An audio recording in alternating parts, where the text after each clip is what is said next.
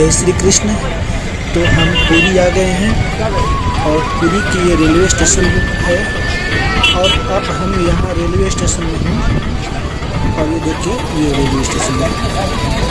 तो railway station जहाँ पर भगवान जगन्नाथ जी का मंदिर वहाँ पर है पूरी में।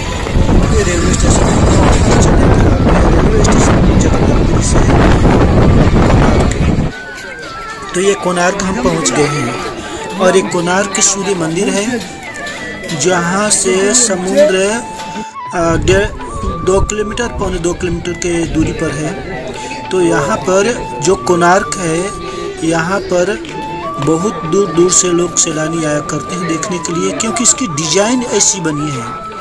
ये पत्थर जो शिल्पी बनाया गया है उसकी डिज़ाइन ऐसी है कि लोग सेल्फी खींचते रहते हैं उसको वीडियो बनाते रहते हैं फ़ोटो लेते रहते हैं। तो यहाँ पर जो कोणार्क है एक टूरिस्ट एरिया है और जगन्नाथपुरी के पास में है और ये नेशनल में आता है। तो ये कोणार्क मंदिर है सूर्य जी का मंदिर है सूर्य भगवान का। तो सूर्य का मंदिर तो अभी जो आपको दिख रहा हाँ ऐसी है। तो इस प्रकार से सूर्य मंदिर है, लेकिन इसमें सूर्य का कोई ढांचा वगैरह नहीं है। तो ये जो डिज़ाइन है ना, ये डिज़ाइन ये सब डिज़ाइन देखने के लिए लोग आया करते हैं। ये ऐसी कला से बनाई गई है कि लोग एक बार देखते हैं तो देखते ही रह जाते हैं। तो बहुत अच्छी अच्छी सी कला का गठन किया गया है, और ये कला पता नहीं कब कैसे बनाया गया होगा तो ये एक पत्थर से बनाया गया है, जो सिर्फ़ पत्थर पत्थर ही है इसके ऊपर में।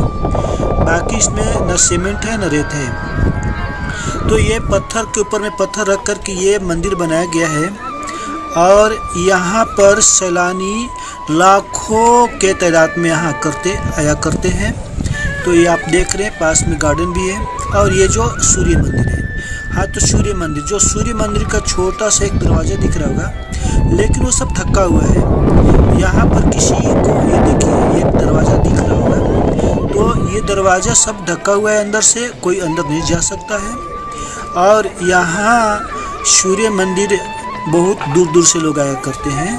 तो ये सूर्य मंदिर है, ये कोणार्क है, जहाँ पर भारत का सूर्य मंदिर। स्वामी रामेश्वर दास